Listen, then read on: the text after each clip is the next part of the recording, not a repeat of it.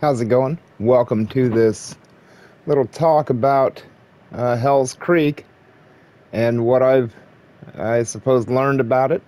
I used to live out by Hell's Creek um, near a town called Glasgow, Montana, and everything around there kind of revolved around Hell's Creek.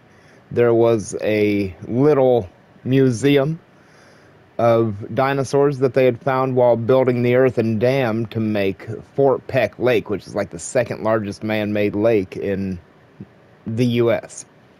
Uh, there they found Tyrannosauruses, Edmontosauruses, Triceratops, uh, Struthiomimus, uh, Tylosaurs, Mosasaurs, Plesiosaurs. I mean, there were a ton of really cool dinosaurs there. And I wanted to kind of take a look at why it was so important, or why it was so significant, or such a hub for these animals to be. And so, before we go really talk about the animals, let's look at the land. So, at the time of um, the end of the Cretaceous, you know, 66, 65 million years ago. Now, you'll have to forgive me a little bit for the straightness of these lines, but North America was divided by an inland sea, which stretched from one uh, kind of part of a continent called Laramidia to the other side, which was like the Appalachia or something like that. But Laramidia is what we're concerned with. So Laramidia ran clear down to about California and up into Canada, maybe to the Northwest Territory, up through here, Saskatchewan and Alberta. But that's what we've got. We've got Wyoming here. This would be a corner of Utah. This is Idaho. This is Montana, Saskatchewan, Alberta.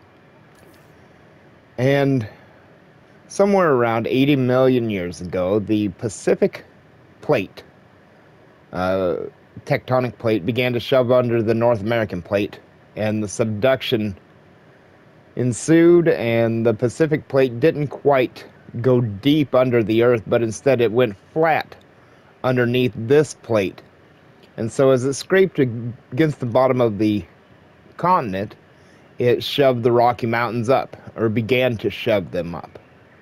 Now, if they were beginning to come up, you know, 20, 10 million years before the end of the Cretaceous, things might have looked something like they do now, where the land is rippled and sticking up. Maybe they're not quite full mountains yet, but far more difficult to climb or walk through than the open plains of what like central Wyoming and Montana would be like. And so if you look, it is just uh, pretty obvious that you would stay on this side instead of walking through this. All the all the rock and everything that was on top of these mountains is beginning to fall off on this side, making it uh, just, I suppose, more treacherous, more encumbered to pass through. So, I, like the dinosaurs, I would go this way. Any migrating herds of Edmontosaurs or uh, Triceratops as you make your way into Montana, you're going to notice that this is kind of going to shove you over this way a little bit. So you're just going to keep walking in a straight line and you're going to run into what would be about Hell's Creek, right here on the edge of the inland sea. This expands back into a great big open grassland again in Saskatchewan, but you've been kind of pushed over here by this growing mountain range, this ripple in the land as the Pacific plate continues to push this ripple forward. And so here you'd end up at this place. So let's go look at this place now. All right, here we are. This is Montana, Hell's Creek Formation, 66 million years ago. You can see that it's a, we'll ignore the Jeep there. You can see that it is a river and swamp land leading out to the inland sea, which this should be the edge of, or it's over that hill and we can't see it. These rivers would have crocodilians, and they would have fish, and they would have the Champsosaurus, which is a little, it's a crocodile-like lizard that probably would have lived at the water's edge. Uh, there were crazy fish out there. Um, the Pachyrhizodus was uh, like a five, six foot long fish. The Xiphactinus was a 16 foot long fish. Um, of course, the Mosasaur, the Tylosaur, the Plesiosaur, uh, Dolichorhynchops, the um, well, what other kinds of things? There was uh, some type of pterosaur there, but the animals we've got represented are the land dinosaurs. So let's start out with there were 40% Triceratops here. And these things are enormous and gorgeous and crazy, so iconic a dinosaur. About nine foot, eight to nine foot back here at the back hip. Six, seven tons, you know, maybe eight elephant sized mass. They are very large. And I'm sure they would be very formidable to fight with those horns. 40% of those, and we'll have 20% Edmontosaurs here. Gigantic hadrosaurs that are 25 feet long and 8 feet tall at the hip, 9 feet, weigh 7 tons. They are not any kind of small animal at all. Bipedal, they can really get up and run. All right. Now, instead of the Thescelosaurus, since they don't have those in the game, we've got Dryosauruses here. Little four foot, four or five foot tall ornithopod, ornithomimid, that, you know, he's probably 75 to 100 pounds. If you could catch and eat one of him, try uh, the Tyrannosaurus would be doing great. Easy meal, though I'm sure he's not easy to catch. Probably get one shot at him, and I bet he goes quick. There are uh, 1% ankylosaurs. And ankylosaurs are the largest ankylosaur there was, with great big club-like thagomizers. These things, look how he, how could you even attack him? You would bust your mouth all to pieces on that creature. Here's a couple more of them. There was another small type of ankylosaur not one I was familiar with. I know they found that Nodosaur in Canada, but as far as at the Hells Creek Formation, ankylosaurs were the one. Another very iconic dinosaur from there is the Pachycephalosaurus. They were there at about 1%, just like the ankylosaur. Not very many, but they were there. It would have been something else to watch them if they did, if they did butt heads with these things to be smacking heads. I don't know. I don't know what you would do that, uh, do with that. Maybe he just got bit on the head a lot because he's not very big. So he got a gigantic skull.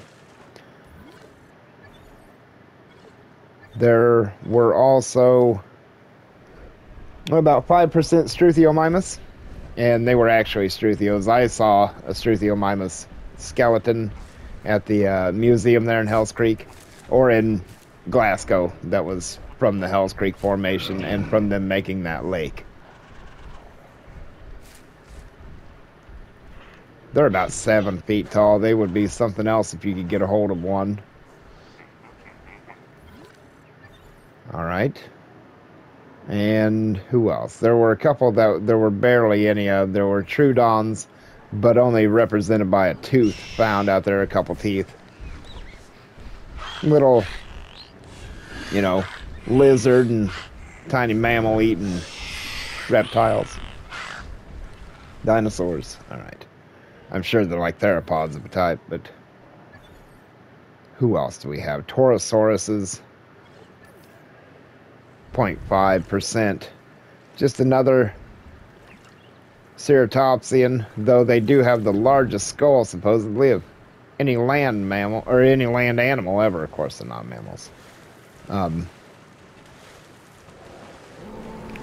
but they would have been hard to do too much to as well.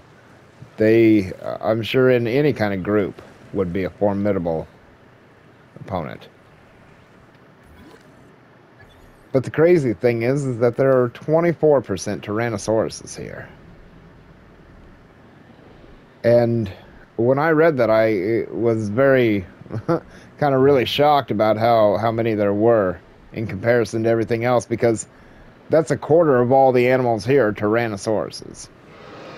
And I think uh, the reasons are one, the the map that we just looked at is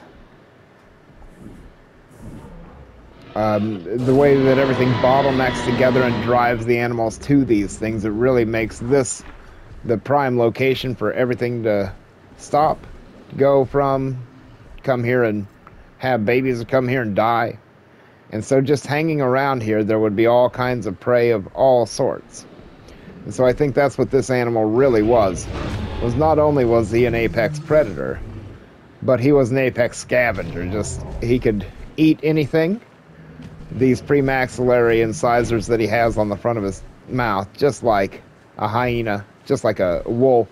These things can chew bone, eat every part of the animal if they need to and that would make you very successful in a place like this because even if you couldn't catch some of these dinosaurs, you could injure them, they'd go die, you'd find them and eat them. You could just find them having injured each other and eat that one. But you could also eat every bit of them. So you wouldn't have to just take the flesh and not injure your weapon uh, your weapons, your big fangs or whatever. Um, you think about like Allosauruses, they didn't have a fused roof of their mouth, so their skull didn't have the ability to twist and break things like a Tyrannosaurus does. So they really had to just shear meat off of something and leave the rest. Where the T Rex really had the ability to bust bone, to crush anything that it had in its mouth because of that fused roof and those premaxillary teeth. Um, if you look at like hyenas and wolves, you'll find that you'll find them in great numbers because they do consume everything. Um, you'll also find in in every predator pretty well that all the prey around them has at some time been attacked by them and that shows on the fossils that they find of some of the hadrosaurs because a lot of them have been injured but live. And so the Tyrannosaurus probably wasn't a super successful hunter, but he probably did everything he could to survive, and so in doing that was able to thrive and fill niches where other things would have taken, you know, over, but there just wasn't room because he ate everything that there was to eat, whether it was dead or alive. And the only other real predator that was here was a Utah raptor, And I'm sure he worked over some of the smaller stuff. But Utah raptors, six feet tall. These things are 13, 14 feet tall. They're gigantic. I mean, and that's at the hip because they don't stand fully erect. They they're enormous. I've seen a fully fleshed out one before, and they're really something to see. But um, I really enjoyed learning this stuff about Hell's Creek and uh, seeing kind of that uh, the the map laying out the way I had it to show the uh, lay of the land and what really caused things to move to where they did. Um, I'm sure I would like to go and find some other maybe predators to focus on what their lives were like and what the things around them, what animals they preyed on. So you can see he had hadrosaurs, he had triceratops, he had a few other small things. Um, but he had a lot of animals that probably passed through his territory too. Like I said, on the way from Wyoming up to Saskatchewan and back and forth as they move from grazing range to grazing range. I'm sure they had to stop here, had to pass through, and there's where the Tyrannosaurus just got fed for a few million years. But I hope you've enjoyed the video a little bit or a lot, and I've certainly enjoyed learning more about Hell's Creek and the, the crazy density of Tyrannosauruses that live there. Um, I'll say goodbye and thanks for watching the video. Take a good look at him real quick. We'll see you later. Enjoy the Tyrannosaurus for a minute or two if you want. Take it easy.